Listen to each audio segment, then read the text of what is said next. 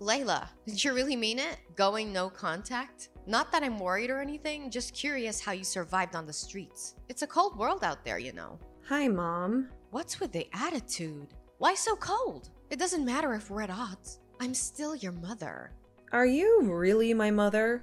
A woman keeping her daughter from her father isn't fit to be called a mother. How old are you? 15? You'll understand one day that I kept him away for your own good. Stop being silly and come home. You have chores to catch up on. A maid? That's all I am to you, right? You don't care how I survived, but you're worried about the chores? If you can plan to run away, you can plan to survive. I'm proud of you for taking that bold step. I'm a great teacher. Unbelievable, Scarlet! Get home and clean up. I didn't spend eight hours in the labor room for you to leave all the work to me. And if you don't find me, the key's in its spot. I'm not coming home until you tell me who my father is. Stupid girl! I've told you, he's dead. He's inexistent to you. I want a sense of identity, Scarlet. You know who your father is, don't you? I don't. All the kids on the block are products of our mistakes. Get used to it. You don't have a father. That's your identity. Then get used to not having me around. For real? A contact or a name, or else I'm not coming back. Fine. Check the call log. His name is Benedict. Really? Let me see. That's your contact. Now come home and clean up. I'm going on a date. Again? Don't you get tired of this? It's none of your business. I'm finding us a rich man. And give me another sibling? I have 10 already. I'm tired. Shut up. I hope you gave me the right name this time. Yes, but don't expect too much. He's dead.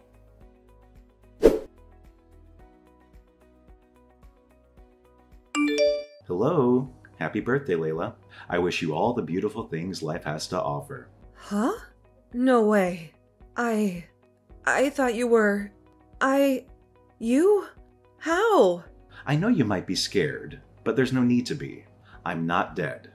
I'm more alive than you can imagine. Scarlet said you were no longer alive. Oh, I've been waiting for this day all my life. For 25 years. I hope to hear from you one day.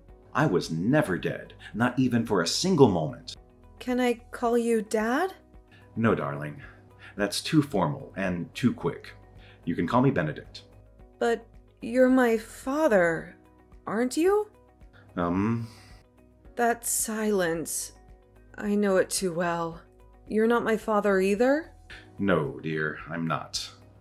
I was scared, you know? I thought Mom might have been lying to me again. I dreaded the possibility that you weren't my father. But I couldn't help but hope. I forced myself to believe you were the one. And that's why I sent you a text every day for 10 years, hoping you would somehow read it. I did, Layla. I read your texts every single day for 10 years. And I am really proud of your determination. My beautiful lawyer.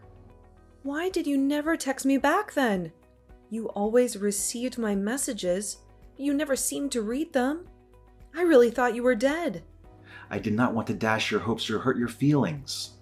And I did not want you to stop sending those messages either. So, why did you do it? You see, that very day you sent your first text was the day I lost my only daughter. Oh. I'm so sorry. You don't need to be. You were my compensation. Your texts every day gave me a reason to hope. You made me feel like my Lily was still there. Oh. I'm still so confused. Oh, it's understandable. Ask me anything. I'll tell you everything you need to know. Why did Mom give me your number when she knew you were not my dad? I guess it was because I was just recently involved in a fatal accident that claimed my left leg. I'm sure she thought I was dead. Okay. So. But. Is there no way you could be my father? Truth be told, I did have a fling with Scarlet. But being a man of integrity, I ran a DNA test to confirm your paternity when she brought it up. And? It was negative. I even have proof. No. I really thought I'd found my father. I know. You've told me a whole lot about your dream of having him walk you down the aisle. I might have to give up on that dream now. My wedding is in three months. I'm sorry that I'm not your biological father, but I am willing to help you look for him. Really? Yeah, I believe he is alive. I've even been compiling a long list of men I know of that could potentially be your father. It was going to be my gift to you today. Oh my god. That's. I don't know what to say. 7 Benton Drive, the last floor. That's my restaurant. Let's meet up, okay? Okay.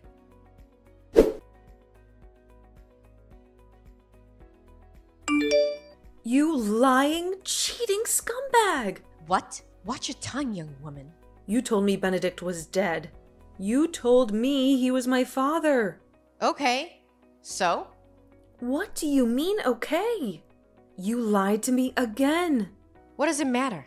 It's not like it would change anything if you knew who your father was. How can you even say that?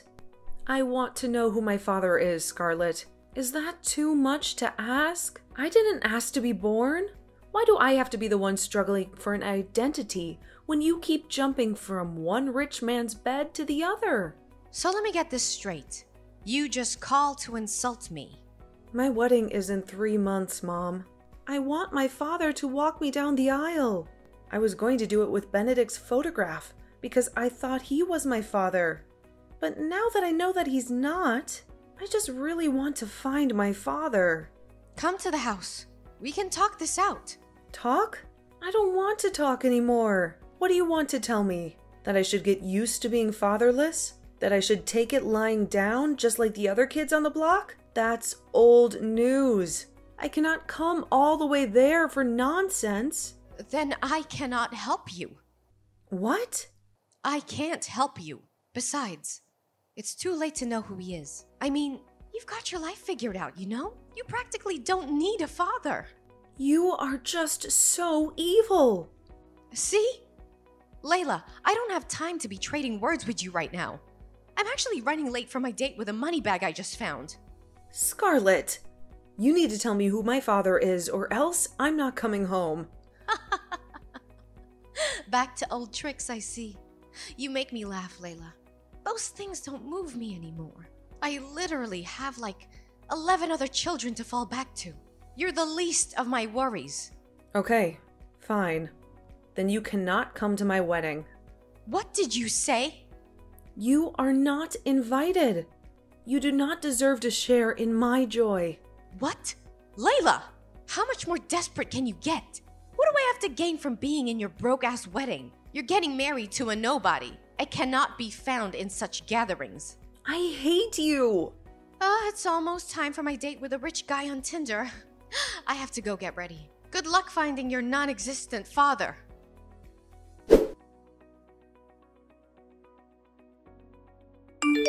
Hello, Layla. Hi, Mr. Benedict. How are you? Ugh, ugh, I'm frustrated. Why? Nothing we have done so far is working. We've checked out nine of the 11 men you listed, and none has turned out to be the one. I'm running out of patience and money. I cannot keep paying fares for such long trips to different cities in search of something I could have found if my crazy mother just told me. I understand your frustrations, Layla, but we should at least be glad they all consented to DNA testing. What if they said no? You would have been double frustrated by now. It's funny, but not funny. I just wish we could make some progress. We will. You just have to keep your hopes up. I don't even feel like trying anymore. Maybe I should just give up on my childhood dreams. You cannot give up now, dear. You've come such a long way to stop now. We're going to finish what we started. And if we're unable to find your real father, then so be it. Is there anybody you think it might be from the two? It's hard to say, but we'll just do what we can and leave the rest up to nature. Even though I'm kind of worried about something. What is it? Nathan William. That's one of the last two men on the list. What about him? I doubt he'll consent to taking a test. Why? Who would reject the idea of finding his lost child? Well, a man who doesn't need one would. And Nathan is one of such men. We used to be friends back in the day, best of friends even. But our friendship grew sour when Scarlet came between us. Okay. They were dating at first, but Scarlett left him because he was broke at the time. Ugh, typical mom. She got with me briefly after that just to spite him. And that was how she broke up our friendship. Wow. But things have changed today. He's the founder and CEO of Wills and Company, one of the fastest growing construction firms in the city. He's so rich that Scarlett would be flustered if she found out she ditched a guy with so much potential out of greed. But he has a strong reputation for being a no nonsense kind of guy. I'm not even sure I can help you approach him for a DNA test, as I did with the others, for shame of what I did to him 26 years ago. So, what do we do now? I don't know. You know how you've been asking me what gift you'll give me for my wedding? Yes? What about that? This is it. We'll go to see Mr. Williams together.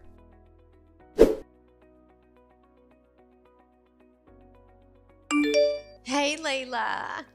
Happy wedding day. I would ask how the wedding's going, but I really don't care. Guess what? I ignored your uninvitation and showed up anyway, even though you changed the venue to escape me. But that's not the best part.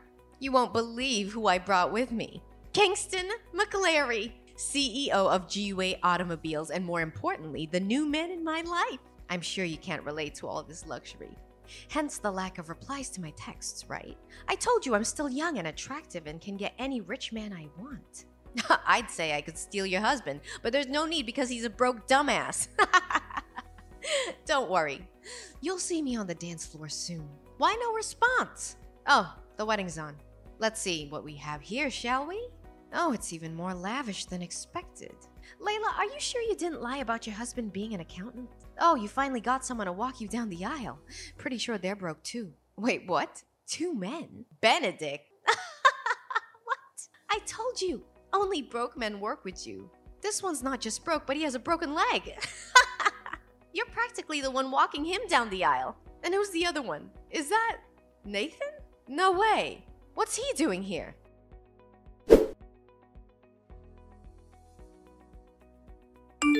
How dare you, you ungrateful imp! Excuse me? You found Nathan, and you didn't think to tell me? That's a little demanding, don't you think? I'm an adult, married woman now. You don't think I'll be telling you everything I do, do you? I think this is all my fault. The reason you're still able to text me and talk rubbish is that I haven't blocked you on all platforms yet. You can't even do that! Want to bet? I'll do it now and a million times over if I have to. You are wicked and selfish and materialistic to the point that you did not care at all what impact your stupid actions had on me or any of my siblings. You can't speak to me in that tone of voice, young lady. Oh, but I can. Because you deserve to be spoken to that way, and even worse. You're not a mother and should not be regarded as one. This isn't for you to decide, Layla. I brought you into this world. I call the shots. You did, but not anymore. I have finally found my real father. My childhood dream of having my father walk me down the aisle came true. Only I had it even better. I had two fathers walk me down the aisle yesterday, and it was the most glorious thing I've ever experienced. Though I was somewhat hurt by the fact that Mr. Benedict was more of a father to me in three months than you've been a mother all my life. But does that matter anymore? I also got to marry the man of my dreams. My life is going great, and you do not have a part in it. That's unfair. No. Unfair is you abandoning the father of your first child simply because he was broke. He could not give me the million dollars I needed then for my cosmetic procedure. He didn't want me to be in the trend like all the other ladies. Can you blame me for wanting what I want? So I had to dump his sorry ass.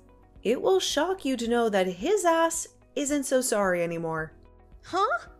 He's now massively wealthy and owns different 13 figure earning companies globally. What? How? It can't be. Nathan cannot be more than a hotel janitor. He didn't even get a college degree. Well, we can say the tables have turned. You know the new hall that was used for my wedding? The elegant outfits and exquisite food and decor, those were all last minute changes by my dad. I'm glad you stubbornly showed up at the wedding, even though I asked you not to.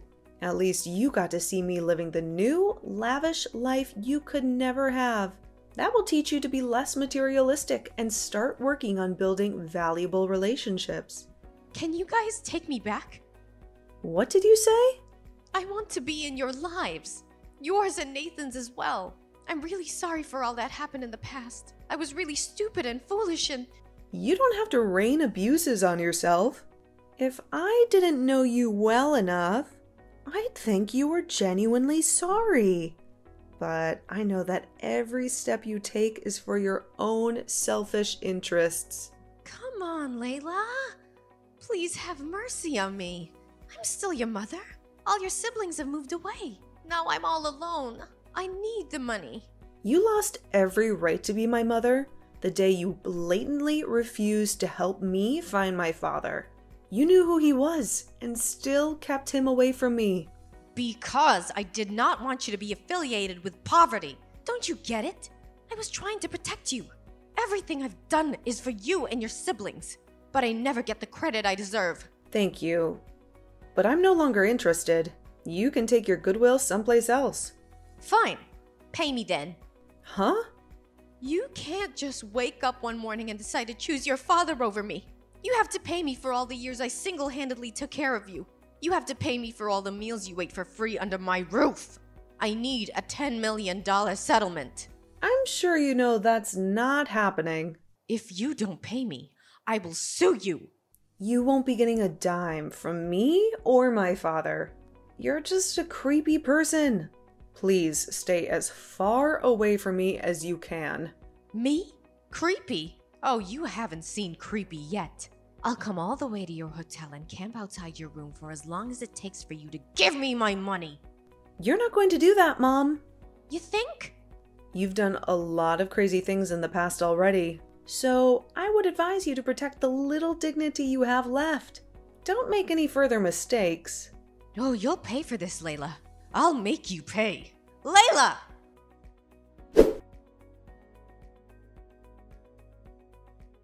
If you assume Scarlet would abandon her threats, think again. It appeared she gleaned no lessons from the recent events.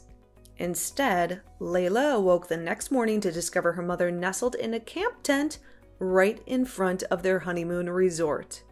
The moment she laid eyes on her bewildered daughter, Scarlet brandished a crazily decorated placard and incessantly chanted the words, Pay me my money. Scarlet's screams eventually caught the attention of other resort guests and, ultimately, security agents who promptly had her escorted off the premises. It was later revealed that one of Layla's siblings divulged her exact location to their erratic mother, spurred by threats of self harm. Ironically, all of this chaos was orchestrated to capture Nathan's attention, or perhaps secure some of his wealth. Scarlet's poorly devised plan, however, only intensified Nathan's disdain for her. Not to mention Layla and her newlywed husband, who opted to relocate to another city after deciding Scarlet needed the care of a psychiatric facility. As years passed, Layla and her husband welcomed three beautiful children, working diligently to maintain a joyful and stable family life. Their commitment stemmed from a desire to shield their children from the hardships Layla endured in her tumultuous past.